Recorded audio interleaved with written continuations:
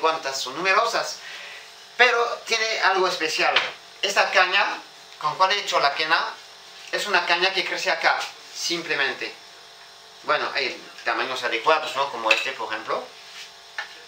Y de este material, con el handicap que hay nudos que hay que transversar perfectamente, lijar un poco y equilibrar la caña, se llega a hacer unas quenas que han escuchado y que francamente no vale la pena destrozar Amazonas si aquí lo podemos también encontrar.